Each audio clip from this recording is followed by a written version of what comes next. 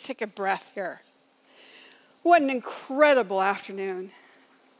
What a truly incredible afternoon. I am so honored and so excited to be here in front of you. And I would like to borrow something that Genesis said. Your presence, my colleagues' presence, the students' presence, and those who are here liberate all of us. So thank you for staying. Thank you for being here. I hope I continue to liberate you by talking a little bit about my passion my call to ocean adventure. I am a marine scientist and have been for three decades. Hard to imagine, really, at this point. Um, but I have a privilege because of those three decades. I can ask a little twisting question. I can ask about how I find a meaning, a life of meaning in those three decades of all the work I've done in the oceans. And it's easy for me to talk about scuba diving on coral reefs, climbing on board commercial trawlers. It's harder to talk about finding a life of meaning. So, what a good academic does, a good researcher does, is she goes to her silent advisors, my books. I have lots of them piled up all over my house. And I found a little treasure, and that treasure is this book called The Monk and the Philosopher. And the subtitle's key. A father and son discuss the meaning of life. Yes, yes, I can find gems in this book to help me. And this is not just any father and son. The father, Jean Francois Revel, is a philosopher. His son, Matthieu Ricard, is a Buddhist monk, but not just any Buddhist monk. Matthieu Ricard, for 26 years, was training to be a molecular biologist, a scientist, under a very famous scientist called Jacques Monod, the father of genetic switches, that changed our whole understanding of genetic expression in developmental biology and beyond. Then, at the age of 26, Matthieu Ricard left science to study Buddhist spirituality after publishing his PhD and papers to go study with the lamas in Tibet. And the opening line of this book is his father, the philosopher, asking, Why did you leave science and become a Buddhist monk? And I was curious too. Matthieu Ricard answers, my scientific career was the result of a passion for discovery. And boy, does that resonate with me right through the core because that's exactly why I went into science.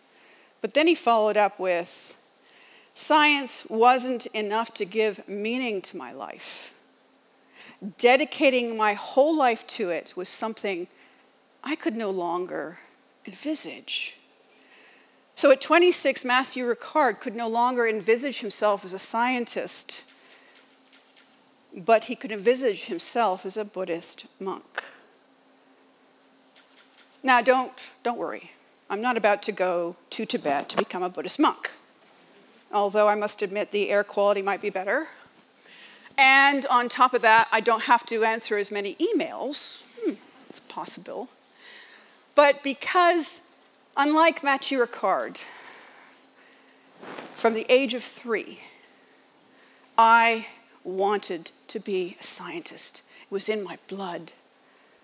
From the age of three years old, yes, that is me on the tricycle, my sturdy steed, and that cutesy little dress, sailor dress I was wearing. But I am looking out to the Pacific Ocean, the largest and deepest ocean in the world. And I was saying, I wonder what's out there. I wanted to be an explorer, an ocean explorer. I saw myself as that 28 year old scuba diver. I also saw a vast sea, infinite of fish and water. And that is what I wanted to explore the unknown. So, at the age of three, I saw myself as that scuba diver. And that gave me the first little clue to helping me find that meaning in life. How do you see yourself? And, and, and it's a gift. How do you see yourself? It's a good question to ask. However, at the age of 12, as mothers tend to do, at, they, she asked me, my mother asked me, What would you like to do, Kishleinem, when you grow up, she is Hungarian.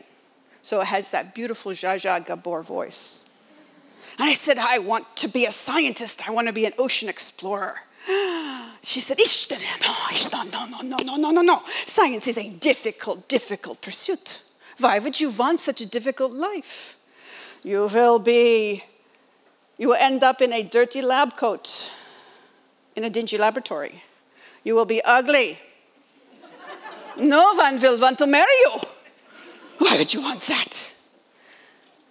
So my mother envisaged in her eye something like that poor guy in the middle. But that's not me. That was me in the scuba suit.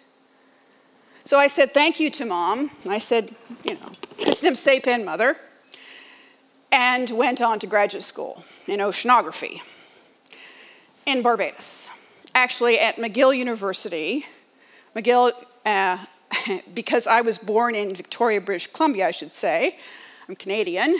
And McGill owns a tropical research institute called Bellairs in Barbados. And that's me on a stool looking down a microscope.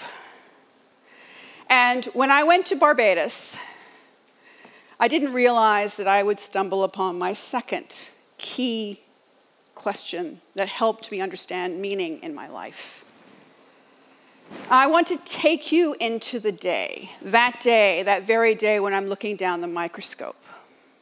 It's the wet season in Barbados.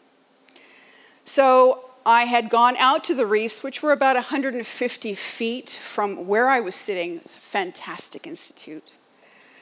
And the bluehead wrasse, which I was studying, a fish, a coral reef fish, had spawned in the middle of the water column, as they do. And I took a, a net and I swiped the net through the eggs.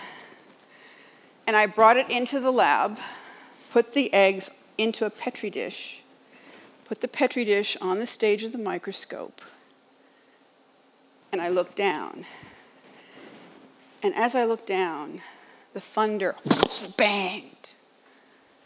And the rain started pouring down on the corrugated roof. And nature seemed to echo all around me. The rain almost was in the room itself, as though it was sort of embracing me. And I looked down the ocular onto the plate to see a miracle occur.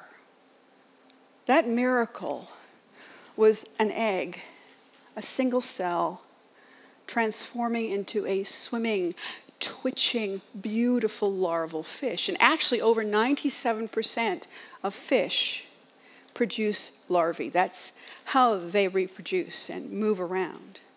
And that picture that you're seeing actually was the original. I've carried that picture around with me for 40 years. And I heard a voice inside of me saying, Pay attention. This is important. I didn't know why it should be important, but it seemed to be important. Inside me, there was a voice telling me. So, this is my second kernel. Who do you listen to?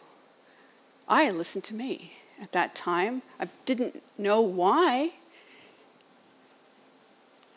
Then I went back to Canada and continued my graduate education as a PhD student uh, studying cod, Atlantic cod, in 1990. In 1990, Canadian, um, the Can- Canada was in a tremendous devastation. The fisheries crisis had taken a fish, Atlantic cod, that had been so plentiful when Giovanni Cabot discovered them. John Cabot discovered North America as well as Atlantic cod. 500 years ago in 1497, he could take baskets, wicker baskets, dip them over the side of the ship into the surface of the water, haul them up, and they would be brimming with codfish the size of men. When I went on board the Lady Hammond, the fisheries trawler you see, we couldn't catch enough to fill one major net in 10 days. And the largest fish we caught was what Walter, he's an intern for Department of Fisheries and Ocean, or was. So that is one of two state cods that we caught. And I wanted to bring your attention to one thing. See, if you, if you look at that fish, the head of her, she's a her, she's about 15 years old, is much too large for her body. She was starving because the overfishing disaster in Canada had not only overfished Atlantic cod, but had also decimated their favorite food, capelin, starving the fish. And two years later, Canada announced in July 2nd, I'll never forget that day, an entire cod moratorium, which continues to this day, by the way, on all fishing. 200,000 fishermen were put out of work that very day. Towns were closed. Newfoundland, the poorest province in Canada, was economically devastated. And I made a choice. I took my knowledge of raising fish from eggs and I decided that I would put away my childish dreams of an infinite ocean and help those fishermen. So that's my third, corner, third kernel of that I learned from this book. What choices do you make? I made the choice to take my knowledge and use it. And from eggs and larvae came great new beginnings because, along with my colleagues in Newfoundland and in New England, we generated what is now a thriving cod aquaculture industry. And in 2014 15, aquaculture, fish farming took an enormous leap. Over 50% that, of fish on your plates in the restaurant, in the grocery store, are farmed. And if they're farmed in Canada, the United States, and Europe and its associated countries, they are healthy to eat.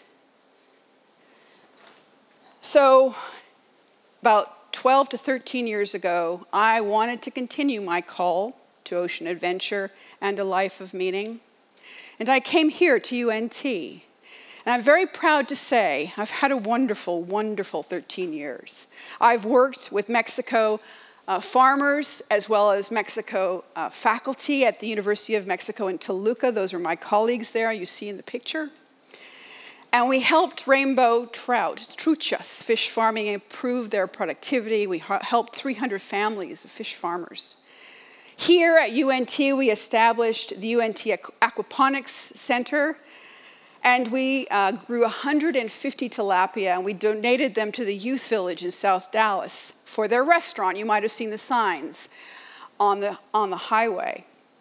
Finally, um, then we also, I'm also very interested in the oceanic origins of the human gut microbiome to improve human health. So I continue to use my knowledge and adventure to um, explore. So we return to where we started,